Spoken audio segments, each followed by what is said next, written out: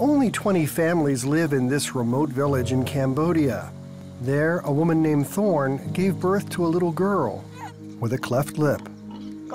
Our neighbors said that my husband and I must have done something bad in the past, and this was our punishment. They avoided us because they were afraid their babies would become like her too. I felt so much pain in my heart.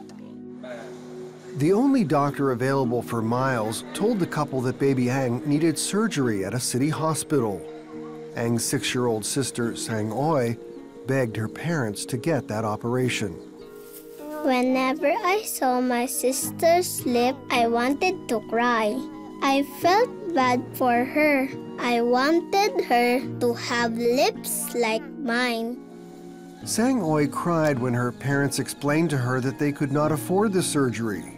As vegetable farmers, the couple couldn't even afford the bus fare to take Ang to the hospital 75 miles away. Then they met a stranger who said that his child had been born with a cleft lip too. He told them how CBN had helped his son. When we called CBN, they said they would help us too. CBN arranged for travel to the hospital and provided the cleft lip surgery for free. I'm so happy that my baby sister has a new lip. She's very pretty. I think Ang will have a good future. Thank you, CBN, for helping my daughter and bringing happiness to our family.